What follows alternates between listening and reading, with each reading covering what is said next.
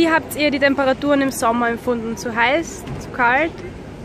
Es waren Zeiten, wo es sehr heiß war und es waren Zeiten, wo man dachte, okay, es, passt für die Sommerzeit, aber manchmal war es heiß.